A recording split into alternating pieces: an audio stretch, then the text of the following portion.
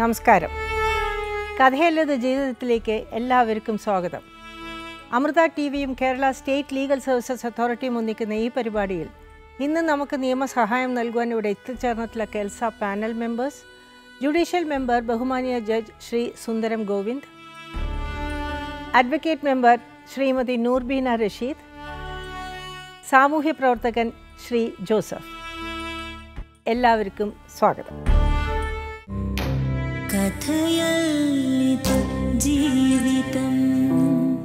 അങ്ങനെ ഞങ്ങൾ തിരിച്ചു രജിസ്റ്റർ ചെയ്തു. രണ്ടായിരത്തി പതിനാലിലാണ് ഒറിജിനൽ സർട്ടിഫിക്കറ്റ് ഉണ്ടാക്കുന്നത്. അപ്പത്തേക്ക് ഒരു കുഞ്ഞ് ജനിച്ചോ? രണ്ടായി. രണ്ട് കുട്ടികളുണ്ടായി. ഓ. രണ്ടായിരത്തി പതിനാല്. ആ സർട്ടിഫിക്കറ്റ് എന്റെ കയ്യിലിരിക്കുന്നുണ്ട്. അതും ഇവർക്ക് സ്വയം തൊഴിലിന്. സർക്കാർ അൻപതിനായിരം രൂപ കൊടുക്കുന്നു എന്ന് പറഞ്ഞപ്പോൾ എന്റെ അടുത്ത് വന്ന് പറഞ്ഞു അമ്മയെ പഴയ രജിസ്റ്റർ എടുത്തിന് ഞങ്ങൾക്ക് കല്യാണം കഴിക്കണം. ഞങ്ങൾക്ക് സ്വകമായിട്ട് എന്തെങ്കിലും തൊഴിൽ ചെയ്ത് ജീവിക്കണം. ഞങ്ങൾ തമ്മിൽ പ്രശ്നങ്ങളൊന്നും ഇല്ലാത്ത കാരണം കൊണ്ട് പിന്നെ ഒന്നിനും പോയി മൂന്ന് മാസം കഴിഞ്ഞ് കഴിഞ്ഞാൽ അവിടെ തന്നെ ആ സ്ഥലത്ത് തന്നെ പോയിട്ട് ഒറിജിനൽ സർട്ടിഫിക്കറ്റ് ഉണ്ടാക്കണ്ടായിരുന്നു. അപ്പം ഞങ്ങൾ തമ്മിൽ ഒരു പ്രശ്നങ്ങളും ഇല്ലാത്ത കാരണം കൊണ്ട് അതിനെ പറ്റി അമ്മ പിന്നെ നോക്കി. പ്രശ്നമുണ്ടോ? പ്രശ്നമില്ല എന്നുള്ളതല്ല. മാരേജ് രജിസ്റ്റർ ചെയ്യണം എന്നുള്ളതാണ്. ചട്ടം. പിന്നെ രണ്ട് ജാതി ആയത് പറഞ്ഞുകൊണ്ട് അമ്പതിനായിരം രൂപ ഉണ്ടെന്ന് പറഞ്ഞപ്പോൾ ഞാൻ അതിന്റെ വേണ്ട രണ്ട് രണ്ട് ജാതിയാണ് നിങ്ങൾ രണ്ട് ജാതി എന്ന് വെച്ചാൽ ഹിന്ദുക്കൾ തന്നെ. ഞാൻ വേട്ടുവ ജാതിയാണ് അവർ വിശ്വകർമ്മയാണ്. അപ്പോൾ സർക്കാരിൽ നിന്ന് സഹായമുണ്ട് അമ്പതിനായിരം രൂപ ഉണ്ടെന്നാണ്. അപ്പോൾ വേണ്ട അപേക്ഷകളൊക്കെ ഞാൻ അവിടെ ഇവിടെയൊക്കെ വെച്ചു കിട്ടിയോ? ഒറിജിൻ ആ ഒറിജിനൽ സർട്ടിഫിക്കറ്റ് ഉണ്ടാക്കാൻ വേണം. രണ്ടാമത് ഒന്ന് രണ്ടായിരത്തി പതിനാലിലാണ് ഞാൻ ഒറിജിനൽ സർട്ടിഫിക്കറ്റ് ഉണ്ടാക്കുന്നത്. അത് പ്രകാരം അമ്പതിനായിരം രൂപ കിട്ടി. കിട്ടി.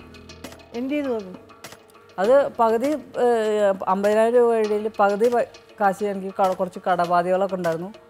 അങ്ങനെ കടം വീട്ടി. ബാക്കി പൈസയ്ക്ക് ഒരു വണ്ടി വാങ്ങിയിരുന്നു ഒരു സ്കൂട്ടി വാങ്ങിയിരുന്നു. അപ്പോൾ ഈ അടുത്ത കാലത്താണ് അത് നശിച്ചു പോയത്. അത് അവിടുന്ന് ഞാൻ ഗുരുവായിരുന്നു സ്കൂട്ടി പപ്പ് എന്ന് പറഞ്ഞാൽ ലേഡീസ് ഉപയോഗിക്കുന്ന വണ്ടി. ആ വണ്ടിയായിട്ട് ഞാൻ ഇരുന്നൂറ് കിലോമീറ്റർ ഓടിച്ചിട്ട് ഈ- എന്റെ വൈഫിനെയും രണ്ട് മക്കളെയും ബാക്കിയുള്ള ബാഗും സാധനങ്ങളൊക്കെ ആയിട്ട് അത്രയും ഇരുന്നൂറ് കിലോമീറ്റർ ഞാൻ ഓടിച്ചു വരുമായിരുന്നു പന്ത്രണ്ട് പ്രാവശ്യം പത്ത് പന്ത്രണ്ട് പ്രാവശ്യം ഞാൻ അവിടെ വന്നു പോയി വന്നു പോയി. ആ വണ്ടിയുടെ ആയുസ് തീർന്നു. നാല് മാസമായി ആ വണ്ടി ഇരുമ്പ് വിലയ്ക്ക് കൊടുത്തു ഞാൻ. അത് അവളുടെ നാട്ടിൽ വന്നിട്ട് തന്നെ കൊടുത്തിട്ടാണ് ഇപ്രാവശ്യം കടന്ന് ഗുരുവായൂർക്ക് തിരിച്ചു വന്നത്. എന്താ നിങ്ങൾ തമ്മിലുള്ള പ്രശ്നം? ഞങ്ങൾ തമ്മിലുള്ള പ്രശ്നം ഞാൻ അടുത്ത വീട്ടിലെ ഒരു കുട്ടിയായിട്ട് സ്നേഹബന്ധമാന്ന് പറഞ്ഞാണ് തുടക്കം. കണ്ണഞ്ചേട്ടന് അതെന്താന്ന് ചോദിച്ചു കഴിഞ്ഞാൽ കണ്ണഞ്ചേട്ടൻ ഞാൻ ഒരു ആറു മാസമേ ഞങ്ങൾ അവിടെ നിന്നിട്ടുള്ളൂ. എന്നെ കെട്ടിക്കൊണ്ട് പോയ വീട്ടിൽ എന്റെ നേരെ മൂത്ത ഏട്ടൻ ഈ അടുത്തിടെയാണ് കല്യാണം കഴിഞ്ഞത്. ഒരു നാല് നാല് വർഷം അഞ്ച് വർഷമായിട്ടുള്ളവർ കല്യാണം കഴിച്ചിട്ട്. ഏടത്തിയമ്മ തൊട്ടിട്ടുള്ള പ്രശ്നങ്ങളാണ്. എനിക്ക് വീട്ടിൽ എന്തെങ്കിലും ഞാൻ എന്തെങ്കിലും പറഞ്ഞു കഴിഞ്ഞാൽ ആ ഏടത്തിയമ്മ എന്തെങ്കിലും പറഞ്ഞു ഞാൻ ചേട്ടത്തിയമ്മയുടെ എന്ത് അത് കുട്ടികൾ തമ്മിൽ എന്റെ ഇളയ മകനുമായിട്ട് എന്റെ ഏട്ടന്റെ കുട്ടിയായിട്ട് പതിനഞ്ച് ദിവസത്തെ വ്യത്യാസമുള്ളൂ. കുട്ടി പറയുന്നത് എന്റെ ഇളയ മകൻ രണ്ടാമത്തെ? രണ്ടാമത്തെ ആൾ.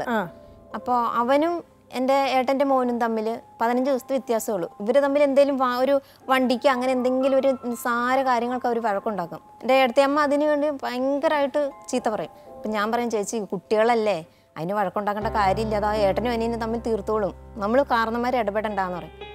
അവരത് സമ്മതിക്കില്ല. അവരെന്റെ മെക്കിട്ട് കയറും എന്റെ മെക്കിട്ട് കയറുമ്പോൾ ഞാനും പറയും. അത്യാവശ്യം ഞാനും പറയും.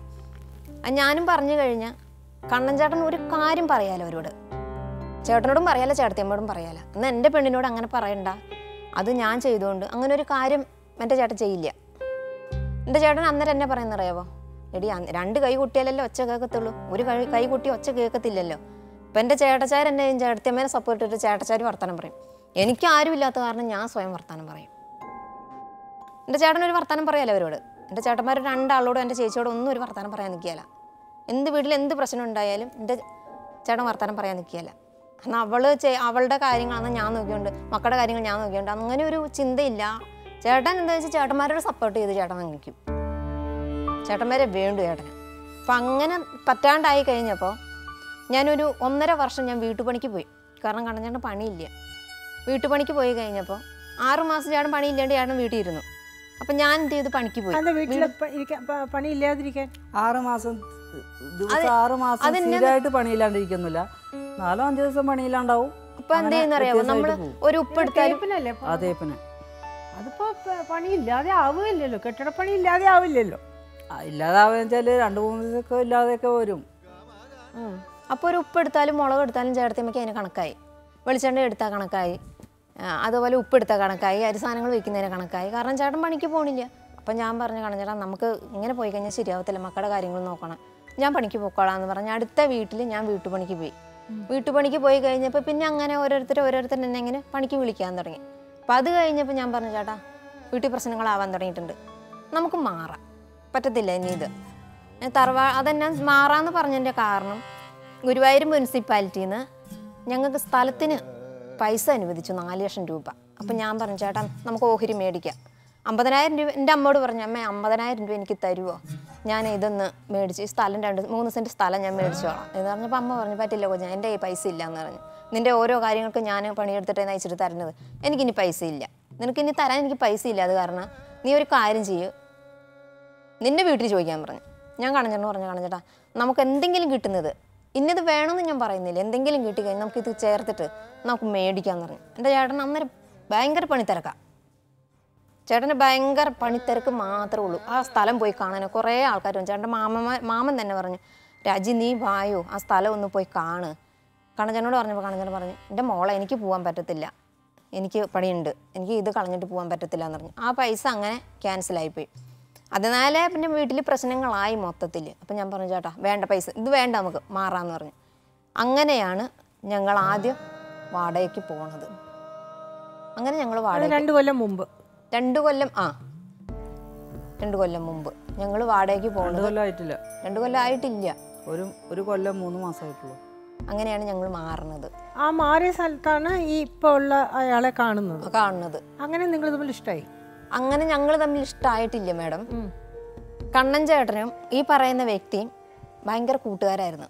കണ്ണൻ ചേട്ടൻ എന്നോട് ആദ്യമേ തന്നെ പറഞ്ഞു എടി അവനെക്കുറിച്ച് നല്ല അഭിപ്രായം ഒന്നും കേൾക്കുന്നില്ല. ഏഹ് എന്ന് പറഞ്ഞു. അങ്ങനെ നല്ലൊരു അഭിപ്രായം കേൾക്കുന്നില്ലാത്തൊരു വ്യക്തി ഈ മനുഷ്യന് കൂട്ടുപിടിക്കേണ്ട ആവശ്യമില്ലായിരുന്നു. ഞാൻ പറഞ്ഞു ചേട്ടാ അങ്ങനെ നല്ല വ്യക്തി അങ്ങനെ നമ്മളെ ബാധിക്കുന്ന എന്ത് കേസും വന്നാൽ നമ്മൾ നോക്കിയാൽ മതി. അപ്പൊ ആ അയാൾ തന്നെ പറഞ്ഞു കണ്ണൻ ചേട്ടാ ഒരു കയറിന്റെ അകലം ആ ഒരു വണ്ണം നമ്മൾ എപ്പോഴും പാലിക്കണം. ഇല്ലെങ്കിൽ ലാസ്റ്റ് നമ്മൾ കരയേണ്ടി വരുമെന്ന് മടം ചോദിച്ചു നോക്കൂ. കണഞ്ഞനോട് പറഞ്ഞതാ. അപ്പോൾ കണഞ്ഞോട് പറഞ്ഞു എടാ ആരെന്ത് പറഞ്ഞാലും എനിക്ക് കുഴപ്പമില്ല. നിന്നെ കഴിഞ്ഞും പക്ക ഫ്രോഡായിട്ട് നടന്ന വ്യക്തിയാണ് ഞാൻ അപ്പോൾ എനിക്ക് അതൊരു ബാധകമല്ല. എനിക്കതിലൊരു വിഷയമല്ല. ആരെന്ത് പറഞ്ഞാലും എനിക്ക് അങ്ങനെ ഒരു സംഭവം എനിക്ക് വിഷയമില്ല. കാരണം എനിക്കും അങ്ങനെ തന്നെയായിരുന്നു. എന്റെ കണ്ണഞ്ചെണ്ണ എന്നിൽ എനിക്ക് എന്തോരും എന്നിൽ വിശ്വാസം എന്തോരും കണ്ണഞ്ചെണ്ണ ഉണ്ടോ അതേപോലെ തന്നെയായിരുന്നു ഞാനും. ഒരാളെന്നെ പഞ്ചാരമുക്ക് ഭാഗത്ത് വന്നിട്ട് കണ്ണന്റെ വൈഫ് എന്ന് പറഞ്ഞ ഒരാളും ചീത്ത രീതിയിൽ പറയില്ല. അത് പോയിട്ട് ഇപ്പോൾ കാർക്കിച്ച് തുപ്പുന്ന പരിവായിട്ടുണ്ട്. ഒരാളും പറയില്ലായിരുന്നു. അതിനും കാരണം എന്റെ ഏട്ടൻ തന്നെയാണ് എന്താ എന്താണ് കാരണം? ഞാനും അവനും തമ്മിൽ ഭയങ്കര ഇഷ്ടമാണ് എന്ന് പറഞ്ഞായിരുന്നു തുടക്കം. ഒരു ദിവസം വന്നിട്ട് എന്നോട് പറഞ്ഞു അതെ അവനെ ഇനി വീട്ടിൽ കയറ്റണ്ട അവനോട് മിണ്ടണ്ട അങ്ങനെ കുറേ കാര്യങ്ങൾ എന്നോട്. ഞാൻ പറഞ്ഞു എന്താ കാര്യം? അത് വേണ്ട എന്റെ ആവശ്യമില്ല എന്ന് പറഞ്ഞു. അപ്പം ഞാൻ എന്തേട്ടാ കാര്യം? എന്താ ഇത്രയൊക്കെ പറഞ്ഞില്ല? എന്താ കാര്യം? എന്താ? എന്റെ ആവശ്യമില്ലെന്നല്ല നിന്നോട് പറഞ്ഞു ആൾ ശരിയല്ല. അത് കാരണം അത് വേണ്ടെന്ന് പറഞ്ഞു. പെട്ടെന്ന് എന്തോ ഒരു വിഭ്രാന്തി കൂടിയിട്ട് എന്റെ ഏട്ടൻ ഇങ്ങനെ പറഞ്ഞു. ഞാൻ പറഞ്ഞു കാര്യം പറയേണ്ട എങ്ങനെയാ? അപ്പം എന്നോട് നീ ഞാൻ ആ ഭാഗാവിനോട് പറഞ്ഞാൽ മതി. ഇങ്ങോട്ട് വരിക വേണ്ട എന്നോട് മിണ്ടണ്ട. നമ്മുടെ ഒരു ഫാമിലി ആയിട്ട് ടച്ച് വേണ്ട. എന്ന് അവരുടെ കുടുംബക്കാരോടും അവനോടും അടക്കം പറയാൻ പറഞ്ഞു. ഞാൻ പറഞ്ഞു ചേട്ടാ എനിക്ക് പറ്റത്തില്ല. എനിക്ക് അങ്ങനെ മുഖം മുഷിഞ്ഞൊരു വർത്തമാനം പറഞ്ഞു നിങ്ങൾ നേരിട്ട് പറഞ്ഞു കൂടെ നടക്കുന്നല്ലേ വൈകിട്ട് ഗുരുവായൂർ കൊണ്ടുപോയിട്ട് ദോശ മേടിച്ചു കൊടുക്കലും ജ്യൂസ് മേടിച്ചു കൊടുക്കലും ഒക്കെ ഉള്ള ആളാണ്. അപ്പം നിങ്ങൾ പറഞ്ഞു എനിക്ക് വിഷയമില്ല. നിങ്ങൾ നേരിട്ട് പറഞ്ഞു? എന്ന് പറഞ്ഞു ഞാൻ. അത് കഴിഞ്ഞപ്പോൾ തൊട്ട് പിന്നെ പ്രശ്നങ്ങളായി. പഞ്ചാരമുക്ക് മൊത്തം അറിഞ്ഞു. ഞാനും ആ ഒരു ആളും തമ്മിൽ ഇഷ്ടമാണ്. ഇങ്ങനെ ഒരു സംഭവം ഉണ്ടെന്നും പറഞ്ഞു. ഫുള്ളും മൊത്തം കുടുംബം അടക്കം എന്റെ കണജന്റെ ഫാമിലി അടക്കം മൊത്തം എന്നെ നാറിച്ചു ഞാൻ. മൊത്തം എന്നെ നരിച്ചു. ഒരു ഒരു തരിമ്പ് പോലും എനിക്ക് തല പൊക്കി നിൽക്കാൻ പറ്റാത്തൊരവസ്ഥയായി. കാരണം കണ്ണന്റെ വൈഫ് എന്ന് പറഞ്ഞു കഴിഞ്ഞാൽ ഒരാളും ചീത്ത പറയില്ല. കാരണം ഞാൻ എന്നെ അങ്ങനെ കൊണ്ടുപോയ ഒരാളാണ്. എനിക്ക് നല്ലപോലെ അറിയാം എന്നെ അങ്ങനെ കൊണ്ടുപോയതാണെന്നുള്ളത് അപ്പം ഞാൻ പറഞ്ഞു എനിക്ക് വിഷയമില്ല അപ്പം ഞാൻ ഈ പറയുന്ന വ്യക്തിയുടെ അമ്മയോട് പറഞ്ഞു അതെ എന്റെ ഏട്ടൻ എന്നെ അങ്ങനെ കരുതില്ല. തെറ്റായ രീതിയിൽ ഒരിക്കലും എന്റെ ചേട്ടൻ എന്നെ കരുതില്ലെന്ന്. പ്രശ്നങ്ങൾ രൂക്ഷമാവാൻ തുടങ്ങിയപ്പോഴും അടുത്ത വീട്ടിലെ ചേച്ചിയോട് ഞാൻ അന്നേരം തട്ടി കയറിയിട്ട് ഞാൻ പറഞ്ഞു എന്റെ ചേട്ടൻ എന്നെ വിശ്വ വിശ്വാസമുണ്ട്. അങ്ങനെ ഒരു കാര്യത്തിൽ എന്റെ ചേട്ടൻ എന്നെ വിശ്വാസം ഇല്ലാണ്ടാവില്ല എന്ന് പറഞ്ഞു. പിന്നെ കണ്ണൻ ചേട്ടൻ തന്നെ വീട്ടിൽ ഓളിയിട്ട് സംസാരം തുടങ്ങി. ഞാൻ പറഞ്ഞു ചേട്ടാ എന്ത് പ്രശ്നം ഉണ്ടായാലും നമ്മുടെ ബെഡ് റൂം ബെഡിന്റെ റൂമിനുള്ളിൽ നമ്മുടെ കുടുംബത്തിന്റെ ഉള്ളിൽ പുറത്തേക്ക് ഇറങ്ങിയ ഒരു വർത്താനം വേണ്ട. എന്ന് പറഞ്ഞാൽ ചേട്ടൻ സമ്മതിക്കുക. ചേട്ടൻ ഓളിയിട്ട് ഉമ്മറത്തിരുന്ന് റോട്ടിൽ നിന്നിട്ട് കൂവലോ കൂവൽ ഈ കൂവൽ എന്താ അടുത്ത വീട്ടിൽ വരുന്ന ആൾക്കാർ പഞ്ചാരമുക്കി പോയിട്ട് കംപ്ലീറ്റ് പറഞ്ഞു. കണ്ണൻ കണ്ണന്റെ പെണ്ണിനെയും കൊണ്ട് പോയി. ഈ ഇങ്ങനെ നടക്കുകയാണ്. അത് അവിടെ വിഷയമായി വീട്ടിലെറിഞ്ഞു തറവാട്ടിലെറിഞ്ഞു. അവിടുന്ന് അവർ ഏകദേശം പോയി അമ്മ രണ്ട് മൂന്ന് പ്രാവശ്യം വന്നില്ലേ? അമ്മ മൂന്ന് പ്രാവശ്യമല്ല മൂന്ന് പ്രാവശ്യത്തിൽ കൂടുതലും അമ്മ മാസാം മാസം വരുന്നുണ്ട്. മൂന്ന് പ്രാവശ്യമല്ല എന്റെ അമ്മ കുടുംബത്തിൽ വന്നിട്ട് അയാളെ വിളിച്ച് താക്കിയത് ചെയ്തതല്ലേ? അത് ലാസ്റ്റ് അതിനു മുമ്പൊന്നും എന്റെ അമ്മയ്ക്ക് ചോദിച്ചു നോക്കൂ. എന്റെ അമ്മയ്ക്ക് ആ ഒരു വ്യക്തിയോട് അങ്ങനെ ഒരു ചിന്തയോ ഒരു ഒന്നുമില്ല. ഒരു കാര്യമില്ല. എന്റെ അമ്മയ്ക്ക് ഇഷ്ടമായിരുന്നു ആ കുട്ടീനെ. ഒരു കാര്യം അമ്മ ആ ആളോട് മുഖം മുഴിഞ്ഞ് ഒരു വർത്തമാനം പറഞ്ഞില്ല. ഇങ്ങനെ ഈ സംഭവങ്ങൾ ഉണ്ടായ ഉണ്ടായ ശേഷമാണ് എന്റെ അമ്മ മുഖം മുഴിഞ്ഞ് വർത്തമാനം പറയാൻ നിന്നത്. അല്ലാണ്ട് ഒരു പ്രശ്നങ്ങളും ഉണ്ടായിട്ടില്ലായിരുന്നു. നിങ്ങൾക്ക് തോന്നുന്നുണ്ടോ നിങ്ങളുടെ മകൾ അങ്ങനെ പോയിട്ടുണ്ടോന്ന്? എനിക്ക് തോന്നുന്നുണ്ടോയെന്ന് ചോദിച്ചാൽ മാഡം പല രീതിയിലും ഗുരുവായൂർ കിടന്ന ആ പയ്യനെ എന്തിന് ഞാൻ വാടകയ്ക്ക് കാശ് എന്റെ കാശ് എന്റെ കൂലിവേല എടുത്ത കാശാ. എന്റെ കാശ് കൊടുത്ത് ഞാൻ വാടകയ്ക്ക് വീടെടുത്ത് കൊടുത്തെടുത്ത് എന്റെ അനുവാദം കൂടാതെ ഗുരുവായൂർ കിടന്ന് ആരാം പയ്യനെ വീട്ടിൽ വിളിച്ചു വരുത്തണം. എന്താവശ്യത്തിന് ഞാൻ ഞാൻ ഞാൻ അല്ല, അറിഞ്ഞില്ല. അല്ല മാഡം ഞാൻ അറിഞ്ഞില്ല. ആൾ വരുന്ന ഇവിടെ ഞാൻ അറിഞ്ഞില്ല. പെരുമ്പാവൂർ എത്തിക്കഴിഞ്ഞപ്പോഴാണ് ഞാൻ അറിയുന്നത് ഞാൻ വരുന്നുണ്ടെന്ന്. എന്നെ അപ്പം എന്റെ ഇളയ കുട്ടിക്ക് ഞാൻ ഏഴ് മാസം തോന്നുന്നു. ഞാൻ വിശേഷമായിട്ടിരിക്കും. ഏഴ് മാസം. വീട്ടിൽ പ്രശ്നങ്ങളുണ്ടായി ഇവിടെ ഈ വാടകയ്ക്ക് താമസിച്ച സമയത്ത് പ്രശ്നങ്ങളുണ്ടായ സമയത്താണ് എന്നെ വന്നിട്ട് എന്റെ അമ്മാവനും അമ്മയും അമ്മായിയും എന്റെ സ്വന്തം ബ്രദറും കൂടെ കൂടിയിട്ട് ഈ പത്ത് വർഷമായിട്ട് എന്റെ ചേട്ടായി വന്ന് എന്നെ നോക്കിയിട്ടില്ല. നോക്കിയിട്ടില്ല. ഇത് വന്ന് വിളിച്ചു. വിളിച്ചു കഴിഞ്ഞപ്പോൾ ഞാൻ അന്ന് എന്നെ വന്ന് സാധനങ്ങളെല്ലാം ഒറ്റ രാത്രി വന്നിട്ട് പാക്ക് ചെയ്തു. അപ്പം തന്നെ എന്നെ ഇവിടെ നമുക്ക് കൂട്ടിക്കൊണ്ട് പോയി. ഞാൻ പോവുകയും ചെയ്തു. കാരണം ഞാൻ വിശേഷമായിട്ടിരിക്കുക എന്റെ മോളെ ഞാൻ വിശേഷമായിരിക്കുന്ന സമയത്ത് എന്റെ മറ്റേ രണ്ട് കുഞ്ഞുങ്ങളെയും പിടിച്ച് കണ്ണഞ്ചെണ്ണയും പിടിച്ച് ഞാൻ പോയി. ഞാൻ എന്റെ നാട്ടിൽ പോയി. അന്നാണ് ഞാൻ അറിയണത് എന്റെ അമ്മ വരുന്നുണ്ട് പ്രശ്നങ്ങൾ പിന്നെ കൂട്ടിക്കൊണ്ട് പോകാനാന്ന് പറഞ്ഞു ഞാൻ പറഞ്ഞു ആ ആകൊന്നും പറഞ്ഞു ഞാൻ വരുന്നില്ല ഞങ്ങൾ മാറി താമസിച്ചോളാം. ഇവിടെ പ്രശ്നങ്ങളാണോ? ഞങ്ങൾ മാറിക്കോളാം. ഞാനും എന്റെ രണ്ട് മക്കളും കണഞ്ഞനും കൂടെ മാറിക്കോളാം എന്ന് പറഞ്ഞു. അമ്മ ഒരു കാര്യം പോലും കണഞ്ഞനോട് പറയാൻ അമ്മ സമ്മതിക്കുകയില്ല. ഞാൻ എന്തെങ്കിലും കണഞ്ഞനോട് പറയാൻ നിന്ന് കഴിഞ്ഞാൽ അപ്പം അമ്മ ഓടി കയറി വരും. എന്തെങ്കിലും വിഷയങ്ങൾ അമ്മ അവിടെ നിന്നിട്ട് ഉണ്ടാക്കിയിട്ട് പോകും എന്ത്? ഞാൻ പറഞ്ഞു ഞാൻ കണഞ്ഞേട്ടനോട് പറഞ്ഞു കണഞ്ഞേട്ടാ നമുക്ക് മാറാം. ഇപ്പൊ ഇവിടെ നിൽക്കുമ്പോഴല്ലേ പ്രശ്നങ്ങളുള്ളൂ? നമുക്ക് ഈ വീട് വിട്ടിട്ട് വേറെ ഏതെങ്കിലും വീട്. പോവാം. ആ വീട് വിട്ടിട്ട് വേറെ മാറാമെന്ന് പറഞ്ഞു. വേറെ ഇവിടുന്ന് ഇരുപത്തി ഇവിടുന്ന് നൂറ്റി തൊണ്ണൂറ്റി എട്ട് കിലോമീറ്റർ ഉണ്ട് ഇടുക്കിയിൽ ഞങ്ങൾ താമസിക്കുന്നിടത്ത്. അതായത് ഗുരുവായിരുന്നു നൂറ്റി തൊണ്ണൂറ്റി എട്ട് കിലോമീറ്റർ ഉണ്ട് മാഡം. ആ സ്ഥലത്ത് ആരെ അറിയാതെ എത്ര പ്രാവശ്യം ഇവിടെ അവനെ വിളിച്ചു വരുത്തിയെന്ന് ചോദ്യര് ചോദ്യര് വിളിച്ച് ശരിയാണ് മാഡം. ഞാൻ ഞാൻ വിളിച്ച് വരുത്തിയത് തന്നെയാണ്. എന്തുകൊണ്ടാന്ന് ചോദിച്ചു കഴിഞ്ഞാൽ കണ്ണൻ ചേട്ടൻ ഇവിടുന്ന് പോയിട്ട് ഞങ്ങൾ എട്ട് മാസം അവിടെ താമസിച്ചു. എട്ട് മാസത്തെ ചെലവ് വാടക പൈസ കറണ്ട് ബില്ല് സക്കം വെള്ളത്തിന്റെ പൈസ എല്ലാം എന്റെ അമ്മയെ കൊടുത്തിട്ട്. അമ്മ അച്ഛനും കൂടെ കൂടിയിട്ടാണ് കൊടുക്കുന്നത് അതിൽ പത്ത് പന്ത്രണ്ട് ദിവസം മാത്രമേ കണഞ്ഞൻ ആ നാട്ടിൽ പണി കിട്ടില്ല കാരണം കണഞ്ഞൻ ഒരാളും ആ നാട്ടിൽ നമ്മുടെ ഈ നാട്ടിൽ നിന്ന് പോയിട്ട് ആ ഒരു നാട്ടിൽ പോയിട്ട് പണിക്ക് ആരും വിളിക്കണില്ല. പരമാവധി ആൾക്കാരോടെല്ലാം ചോദിച്ചു പണിക്ക് വിളിക്കണില്ല. പന്ത്രണ്ട് ദിവസം കണ്ട് എന്റെ ഏട്ടൻ പണിക്ക് പോയിട്ടുള്ളൂ. കുടുംബത്തെ കാര്യങ്ങൾ ഇതെല്ലാം നടക്കണത്. അപ്പോൾ ഈ കൊണ്ടോയ അതിൽ അത് അതിലെനിക്ക് ദേഷ്യമുണ്ട്. എന്നെ കൊണ്ടോയിൽ എനിക്ക് നല്ല ദേഷ്യം ഉണ്ടായിരുന്നു അമ്മയായിട്ട് യാതൊരു ടച്ചും അവിടെ പിടിച്ചിട്ടില്ല ഞാൻ. ഞാൻ പറഞ്ഞു എനിക്ക് അമ്മയുടെ കാശ് വേണ്ട. എന്റെ പ്രസവവും എന്റെ ഒരു എല്ലാ കാര്യങ്ങളും നിങ്ങൾ നോക്കണം. എനിക്ക് അമ്മയുടെ കാശ് വേണ്ടെന്ന് പറഞ്ഞു. എനിക്ക് വേണ്ട അത് കാരണം തന്നെയാന്ന് പറഞ്ഞു. അപ്പോൾ കണഞ്ചേട്ടൻ പറഞ്ഞു വേണ്ടെങ്കിൽ വേണ്ട. അപ്പോൾ കണഞ്ഞണ്ട് മാസം മാസം ഇങ്ങനെ ഇരിക്കുക. ഈ മാസം ഈ എട്ട് മാസം അതിൽ ഈ പന്ത്രണ്ട് ദിവസമേ പണിക്ക് പോയിട്ടുള്ളൂ. ആൾ വീട്ടിലിരിക്കുക. അപ്പോൾ ആ ആൾ എനിക്ക് കൊണ്ടുവന്ന് പൈസ തരുമായിരുന്നു രണ്ടായിരം നിങ്ങൾക്ക് പൈസ ഒരു ബന്ധമില്ല എന്തിനു കൊടുക്കണം? ബന്ധമുണ്ട്. ഞാൻ പറഞ്ഞുതരാം. എന്റെ ഇളയ മോൾ ആ ആളുടെയാണ്. ഈ നാറ്റിച്ച് കഴിഞ്ഞപ്പോഴാണ് എനിക്ക് ആ കുട്ടി ജനിക്കുന്നത്. പഞ്ചാരമുക്ക് മൊത്തം എന്നെ നാറ്റിച്ചു. അത് കഴിഞ്ഞാണ് ഞാനും ആ ആളും തമ്മിൽ ഇഷ്ടമാവണത്. ഇഷ്ടമുണ്ട് ഇല്ല എന്ന് പറയുന്നില്ല. സത്യമായിട്ടും ഇഷ്ടമുണ്ട്. അതിലെന്താ എനിക്ക് ഒരു മടിയില്ല പറയാൻ. കാരണം ഇന്ന് ഞാൻ ഇവരുടെ മുമ്പിൽ ഇരിക്കുന്നത് അതിനു വേണ്ടി തന്നെയാണ്. എനിക്ക് അങ്ങനെ പറ്റുള്ളൂ ഇനി. അല്ലാണ്ട് എനിക്ക് കണഞ്ഞാൻ ഉൾക്കൊണ്ട് പോകാൻ പറ്റില്ല. കാരണം എന്റെ താലിയിൽ കറ വീണ് കഴിഞ്ഞാൽ എനിക്ക് അത് എടുത്തണിയാൻ ബുദ്ധിമുട്ടുണ്ട്. അതിപ്പോൾ വീണ് കിടക്കുകയാണ്. അങ്ങനെയാണ് എനിക്ക് നിന്നെ കൊണ്ടുപോകാൻ എന്നെ കൊണ്ടുപോകട്ടെ എനിക്ക് യാതൊരു വിഷയമില്ല. എന്നെ കൊണ്ടുപോകട്ടെ എന്നെ എനിക്ക് ഒരു കുഴപ്പമില്ല. നിന്റെ മക്കളെ എന്ത് ചെയ്യും? നിന്റെ മക്കളെ എന്ത് ചെയ്യും? നിന്റെ രണ്ട് ഇപ്പൊ ഈ പൊതു സ്ഥാപനത്തിൽ വെച്ച് പറയണം നിന്റെ രണ്ട് കുഞ്ഞുങ്ങളെ എന്ത് ചെയ്യണം? അമ്മയ്ക്ക് അല്ല കണ്ണഞ്ചണ്ണ് നോക്കാം ഇപ്പം അമ്മയ്ക്ക് പറയാൻ പറ്റത്തില്ല. അമ്മ അമ്മേനെ അമ്മയുടെ കൂടെ വിടാൻ എനിക്ക് ഇപ്പം പറ്റില്ല. കാരണം കണ്ണഞ്ചണ്ണ് നോക്കാൻ പറ്റില്ല എന്നുണ്ടെങ്കിൽ എന്റെ മക്കളെ നോക്കാൻ ഞാൻ ബാധ്യതയാണ് ഞാൻ അവരുടെ അമ്മ ആരുടെ വീട്ടിൽ നിന്ന് നോക്കുന്നീ എനിക്ക് എന്ത് നോക്കാൻ പറ്റില്ലേ? ഇത് നമ്മൾ തങ്ങളിലല്ല ഇവിടെ പറയണം. എനിക്ക് നോക്കാൻ പറ്റില്ലേ? ഞാൻ അമ്മ ചോദിച്ചതിനുള്ള ഉത്തരം പറയൂ ഉത്തരം പറയൂ. എനിക്ക് അവർ നോക്കിയില്ല എന്നുണ്ടെങ്കിൽ അമ്മയെ ഞാൻ നോക്കണ്ടേ? ഞാൻ നോക്കണം. ആ മക്കളെ അതിനെ അവൾക്ക് ഞാൻ കൊടുത്തിട്ട് വേണ്ട അതിനെ? എത്ര പ്രാവശ്യം ഈ പറയുന്ന വ്യക്തി ആ കൊച്ചുങ്ങളെ അതിനെന്താ തല്ലിയിട്ടുണ്ടെന്ന് കാരണം എന്നറിയാമോ മേഡം? എന്റെ അമ്മ വിളിച്ചിരുന്നു. എന്റെ കുഞ്ഞുങ്ങളെ എനിക്ക് വേണം. കണ്ണൻ അവിടെ ഇട്ട് കുഞ്ഞുങ്ങളെ മാനസികമായിട്ട് പീഡിപ്പിക്കുകയാണ്. എനിക്ക് ആ മക്കളെ വേണം. എനിക്ക് കുഞ്ഞിതിനെ വേണം. വലുതിനെ വേണം എന്ന് പറഞ്ഞാൽ അമ്മ ആകുന്നു വിളിച്ച് കരഞ്ഞു. കരഞ്ഞപ്പോൾ ഞാൻ അമ്മയോട് പറഞ്ഞു അമ്മേ ഞാൻ എങ്ങനെയെങ്കിലും അമ്മയുടെ കയ്യിലേക്ക് ഞാൻ കാരണം അവർക്ക് അത്ര ഇഷ്ടമാണ് എന്റെ മക്കളെ. അവർക്ക് അത്ര ഇഷ്ടമായ കാരണം ഞാൻ പറഞ്ഞു മക്കളെ ഞാൻ എങ്ങനെയെങ്കിലും ഞാൻ കയ്യിലെത്തിച്ച് തരാം എന്ന് പറഞ്ഞു. അത് മതി എനിക്ക് അത് മതി. ഞാൻ ഒരു വിഷയത്തിനും ഞാൻ പോകില്ല ഞാൻ കേസിനോ ബുക്കാറിനോ ഒരു കാര്യത്തിനും ഞാൻ പോകില്ല എനിക്ക് ആ കുഞ്ഞുങ്ങളെ കിട്ടണമെന്ന് പറഞ്ഞു. കിട്ടിയേ പറ്റുള്ളൂ എന്ന് പറഞ്ഞു. ഇല്ലെങ്കിൽ ഞാൻ എവിടെ വരെ പോകാൻ പറ്റുമോ അവിടെയൊക്കെ ഞാൻ പോകുമെന്ന് പറഞ്ഞു എന്റെ അമ്മ. മാഡം ഞാൻ ഈ കഴിഞ്ഞ തവണ ഇവരുടെ വീട്ടിൽ വന്നപ്പം സ്കൂളിൽ വിട്ടാൽ മൂത്ത കുഞ്ഞ് വരുന്നു. ഒരുപാട് വേദനയുണ്ട് എനിക്ക്. ആ സ്ത്രീ കൊടുക്കുകയല്ലാഞ്ഞിട്ടല്ല വരെ പോലെ ഒരു മനുഷ്യൻ നടന്നുകൊണ്ട് കൂലി വേലയെടുത്ത് ഈ മൂന്ന് കുഞ്ഞുങ്ങൾക്കും കൊടുക്കണം മൂന്ന് വലിയ മനുഷ്യരും ചെലവ് കഴിയണം. ഇങ്ങനെ ഒരു മൂന്ന് കുഞ്ഞുങ്ങൾ അവന്റെ ഒരു കൊച്ചുണ്ട് ഇതുങ്ങൾ രണ്ടെണ്ണം ഉണ്ട്. അതായത് നിങ്ങളുടെ ഈ കണ്ണന്റെ ചേട്ടന്റെ ഒരു കുട്ടിയുണ്ട്. ഈ കണ്ണന്റെ രണ്ട് മക്കളുണ്ട്. ഇങ്ങനെ പാത്രം പിടിച്ച് ഞാൻ സിനിമയ്ക്കകത്ത് ഈ ജയിലിൽ നിന്ന് ചോറ് മേടിക്കുന്നേ ഞാൻ കണ്ടിട്ടുള്ളൂ. പിന്നെ പാത്രവും മേടിച്ചുകൊണ്ട് തൊട്ടടുത്ത് നിന്ന് മേഡം ചോറ് മേടിക്കാനായിട്ട് അവർക്ക് അതൊന്നും സങ്കടപ്പെടേണ്ട കാര്യം സങ്കടമുണ്ട്. എനിക്ക് അതിന് സങ്കടമുണ്ട്. സങ്കടം ഇല്ലെന്ന് പറയരുത്.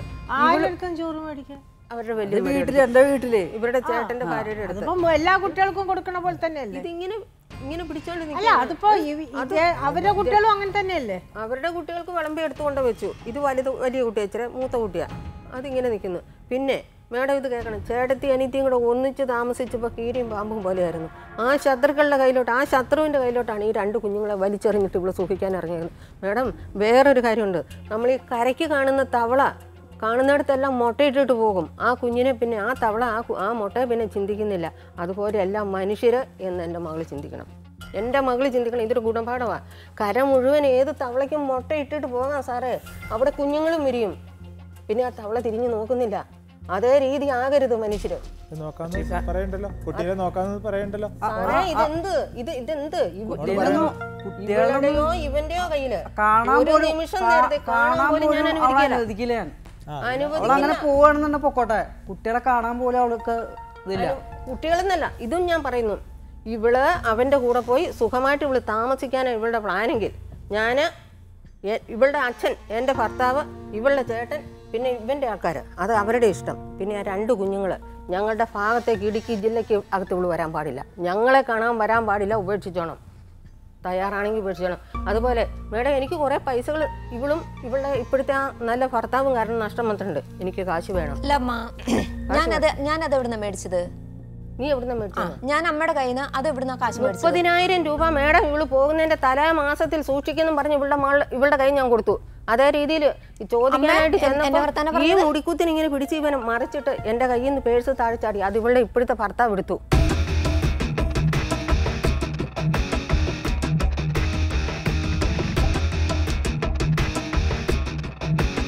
നിങ്ങൾ പറഞ്ഞല്ലോ വീട്ടു ജോലി എടുത്ത് ജോലി ചെയ്യാൻ തയ്യാറായിരുന്നു നിങ്ങൾ ചെയ്തിരുന്നു എന്ന് അപ്പോൾ കുടുംബം പോറ്റാൻ നിങ്ങൾക്ക് ആരോഗ്യമുണ്ട് മനസ്സുമുണ്ട് നിങ്ങൾ ഒരു വളരെ ശക്തിയായിട്ട് സംസാരിക്കുന്ന ഒരു സ്ത്രീയും കൂടിയാണ്. അങ്ങനെയുള്ള നിങ്ങൾക്ക് കുട്ടികളെ കൊണ്ട് ഇറങ്ങിയിട്ട് വേറെ വീട്ടിൽ പണിയെടുത്തിട്ട് നിങ്ങൾ കുട്ടിയെ നോക്കിയിട്ട് എന്തുകൊണ്ട് ചെയ്തില്ല? ആ ഭർത്താവ് പറഞ്ഞ സംശയ രോഗത്തിന് നിങ്ങൾ സത്യമാക്കി. അയാളുടെ കൂടെ കിട്ടുന്ന അയാളുടെ ഒരു കുട്ടീനെയും കൂടെ പ്രസവിച്ചു. നിങ്ങൾക്കൊരു മകളുണ്ട്. ആ മകൾക്ക് നാളെ ഒരു കല്യാണാലോചന വരുമ്പോൾ ഈ അമ്മയുടെ പേര് പറഞ്ഞിട്ട് എന്തൊക്കെ നാണക്കേട് ആ കുട്ടി സഹിക്കേണ്ടി വരും എന്നറിയോ അതിന് പുറമെ നിങ്ങൾക്കൊരു ആൺകുട്ടിയാണ്. ആൺകുട്ടി വലുതാവുമ്പോഴേ എന്റെ അമ്മ ആ, എന്ന് പറഞ്ഞ് കളിയാക്കുമ്പോൾ ആ കുട്ടി എന്തെല്ലാം തെറ്റായിട്ട വഴിയിലൂടെ സഞ്ചരിച്ചൂടാ മൂന്ന് കുട്ടികളുടെ ജീവിതമാണ് നിങ്ങൾ വഴിയാധാരാക്കിയത് മൂന്ന് കുട്ടികളുടെ ജീവിതം. അത് നിങ്ങൾ ആലോചിച്ചില്ല. നിങ്ങൾ എന്തിനാ മറ്റേ ഈ വിക്രമാദിത്യന് വേതാളം നടന്നിരുന്ന പോലെ നടന്നിരുന്നത്? അത് അതിനുള്ള മറുപടി ഞാൻ പറയാം രാജി. അതിനുള്ള മറുപടി ഞാൻ പറയാം. അതിലാണ് അയാളുടെ ക്യാരക്ടർ പുറത്തു വരുന്നത്. അയാൾ അത്രയും മോശപ്പെട്ട ഒരാളെ പോലും ഞാൻ വീട്ടിൽ കയറ്റി കഴിഞ്ഞാൽ എന്റെ ഭാര്യയോടുള്ള വിശ്വാസം ആ വിശ്വാസമാണ് നിങ്ങൾ താർത്തത് നിങ്ങളുടെ അഭിപ്രായങ്ങളും നിർദ്ദേശങ്ങളും ഞങ്ങളെ എഴുതിയും അറിയിക്കാം. വിലാസം പ്രൊഡ്യൂസർ കഥയില്ലത് ജീവിതം അമൃത ടി വി ഗാന്ധിനഗർ വഴുതയ്ക്കാട് തിരുവനന്തപുരം പതിനാല്. Email Jeevitham at Amrita T V dot com.